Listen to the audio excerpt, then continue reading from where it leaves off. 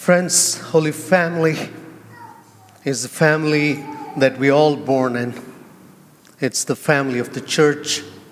It's the family that Elizabeth will be born into on this day when she will be baptized, and we will witness this baptism and we will pray for her. A holy family is also a family that we were born in. Our parents who raised us, who brought us to church, who gave us the gift of sacraments that the church has given us as gift. And so we celebrate that on this day when we celebrate the gift of the Holy Family. While we read the Gospel of Matthew in this year A cycle, Matthew and Luke are the only Gospels that talk about the infancy narrative, all what happens before the birth and at the birth of Jesus. But Matthew gives it from the perspective of Joseph, and Luke shares the infancy narrative story from the perspective of Mary. So that is why today's gospel, which is unique to Matthew,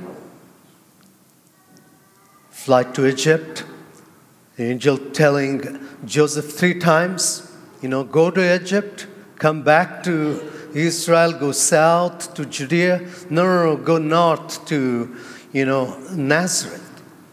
All to save the child Jesus, to save the child Jesus, and to save the Holy Family, and to protect the family. So, everything we heard in today's scriptures, in the gospel, is from the perspective of Joseph, how he cares for the Holy Family. So, it's pertinent to talk about the role of Joseph as husband, father, provider, and protector of the Holy Family. Joseph follows the instructions of the angel and he listens to the voice of the angel and follows the path that the angel asks him to take. He is paying attention to all the warning signs that the angel is telling him and acts in faith and acts in trust in the Lord. This Holy Family is a role model of faith in the face of familial troubles in family lives.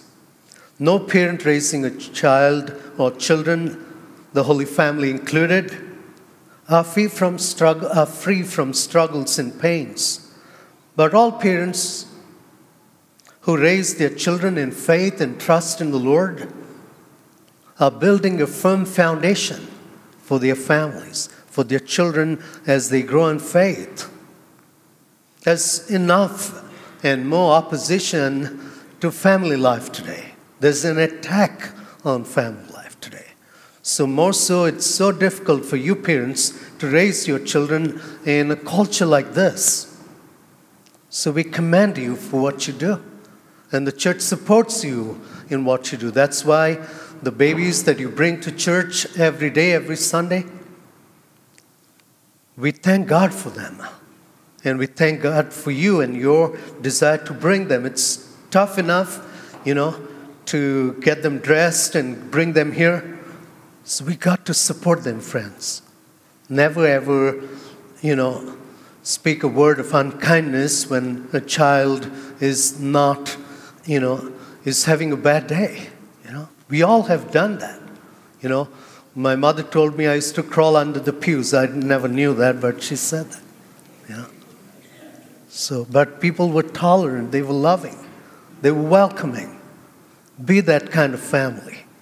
That's the family that's going to raise saints, that's going to raise men and women, boys and girls to join religious communities and bring the gifts back into this community so they can serve the church here at St. John the Apostle in Western Oregon, the church in the Archdiocese of Portland. You know, the Christmas day, the family, a grandmother came to me after one of the masses and, you know, wanted to talk to me. So I said, okay, I will talk to you. Let me finish, you know, greeting people. And so we went into the Western room and she just broke down and she was so so troubled by what, how, how the family treats her, you know, how she's abused, how she's talked back, how she is not appreciated for what she does. She told me she mops the floor when the grandkids spill, and these grandkids are not babies, these are teenage grandkids, you know. When they mess the house, she vacuums, she keeps everything in order, she does laundry, she cooks for them, and guess what she gets in return? Abuse, right? It might dampen your spirit on this feast of the Holy Family. But there are many families that, that face such realities. For whatever reason, maybe people didn't raise their children in the way they had to, or maybe children didn't follow the path they have to, or they have now followed a different path, and the grandchildren are imitating them. If we want our children to follow the role model of St. Joseph and Mary, well, you parents have to do that first.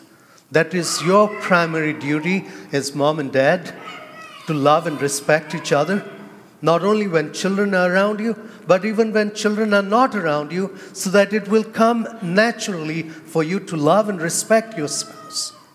And this is what they see in you. They will imitate you and they will follow you. And they will follow that example when they grow up. And they will respect and honor and love and obey as the scripture says. You know, in the book of uh, wisdom, book of Sirach today, the wisdom literature, gives such practical teaching. Who can't accept that? You know, loving, honoring, respecting, but it also gives a gift. If you honor and love your father and mother, you will atone for your sins through your care for your parents. And the later part of book of Sirach talks about how a man and women, as they grow in age, get old, you know, will have loss of memory. We know, you know, Alzheimer's, dementia.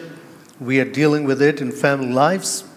Even then, while it troubles you, more so then, we've got to respect and love and care for these parents. I know it's hard. Yet, if there was that love that gave you bath, dressed you up, brought you to church, took you to school, took you to places, brought you all the gifts, well, this is the time to return that favor back in more ways than one, especially when your father or mother who's elderly and doesn't remember things. That's the best way to give gift to them because you know you won't get it back. That's the way the selfless gift works. Pope John Paul II wrote a great encyclical, uh, wrote a great exhortation on Joseph, actually. Many of you may be familiar with it, many of you may not have heard about it. It's about the guardianship of Joseph, guardian of the Redeemer, Redemptoris Custos, the custodian of the Redeemer. And in this, John Paul II highlights the role of Joseph in the life of the church. To quote John Paul II, and so Jesus' way back to Nazareth from Bethlehem passed through Egypt, just as Israel had followed the path of the Exodus from the condition of slavery in order to begin the old covenant. So Joseph, guardian and cooperator in the providential mystery of God, even in exile, watched, watched over the one who brings about the new covenant. About 100 years before John Paul II wrote his exhortation, Pope Leo XIII wrote this prayer seeking the intercession of Saint Joseph. Most beloved Joseph, dispel the evil of falsehood and sin. Graciously assist us from heaven in our struggle with the powers of darkness. And just as once you saved child Jesus from mortal danger, so now defend God's holy church from the snares of her enemies and from all adversity today we still have good reason to commend our families and everyone to St. Joseph. Just a couple highlights from this exhortation. One is that Joseph's role is of a guardian of a redeemer. He is the custodian of the redeemer. He is the protector of the Holy Family. He takes care of his wife, Mary, and their son, Jesus. He kept them safe. He protected them. He just did, he just did not provide. He's not just a breadwinner. He's much more than that. Working, providing for the family. We don't think enough of the Father's protected family from the forces of evil and from the forces of wickedness in the world today. We live in a beautiful world, don't get me wrong. We live in a great country, don't get me wrong. Yes, it is a wonderful world. But it's also a very wicked world. There is evil around. Good and evil exist. It existed in the time of Jesus. And this evil attacks families. And this evil destroys families. And this evil especially destroys innocent minds and hearts the children to corrupt their minds, to corrupt their hearts, to set them on the wrong path, and to lead them into evil and dangers.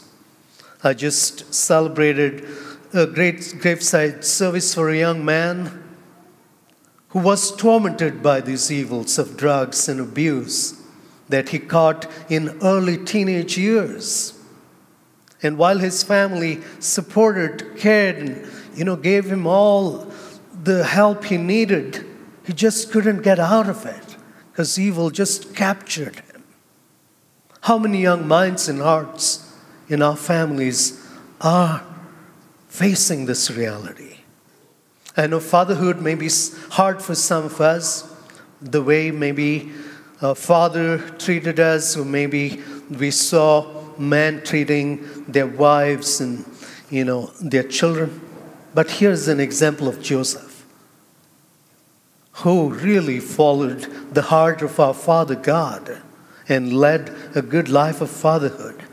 So, father's role, just like Joseph's role, is to be a guardian, is to be a protector, is to be a, not just a provider, but a custodian of the family, not just a breadwinner, but to protect the family from the evil influences, the evil forces around the world that seek to destroy family.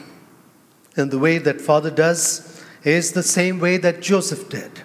It's by listening to the voice of God, it's by listening to the voice of the angel, it's by listening, or should I say, forming a right, good conscience first as men and women and then we will truly attune ourselves to the voice of God that is calling us to that responsibility, to that vocation to lead the family after the heart of Joseph, who is the patron of the whole church.